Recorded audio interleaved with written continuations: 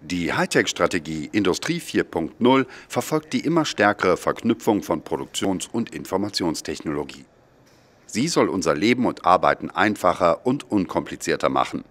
Ein Thema, mit dem sich der Verband der Elektrotechnik auf der Hannover Messe 2014 intensiv beschäftigt. Besucher des VDE Messestands können dabei schon mal einen Ausblick in die Zukunft der Industrie erhaschen. Sie sehen ja, dahinter mir ist ein Roboter, äh, hohe Industrietechnik.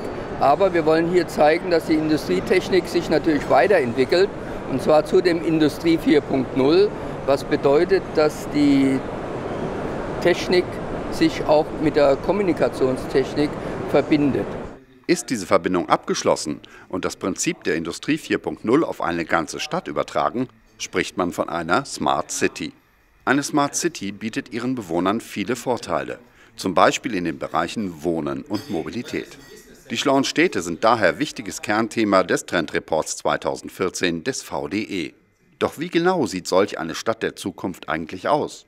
Smart heißt ähm, intelligent, heißt äh, vernetzt. Äh, smart heißt ähm, nah am Menschen, heißt äh, für den Menschen mit guter Nutzbarkeit.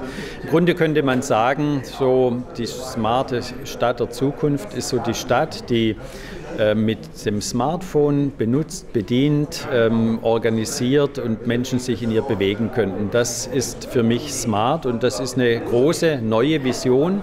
Damit diese Vision Wirklichkeit werden kann, müssen Technik und Mensch präzise zusammenarbeiten. Der VDE steht mit seinem Prüfsiegel dafür. Die präzisen Vermessungen und Materialbelastungstests auf dem Stand sind Ausdruck für diesen Anspruch. Ja, wir haben äh, spezielle Ecke aufgebaut, äh, wo man auch mal das Prüfinstitut etwas mehr live erleben kann. Denn das Prüf- und Zertifizierungsinstitut, wie Sie wissen, äh, prüft die Elektroprodukte auf Sicherheit, Performance, Gebrauchstauglichkeit, Energieeffizienz und vieles, vieles mehr.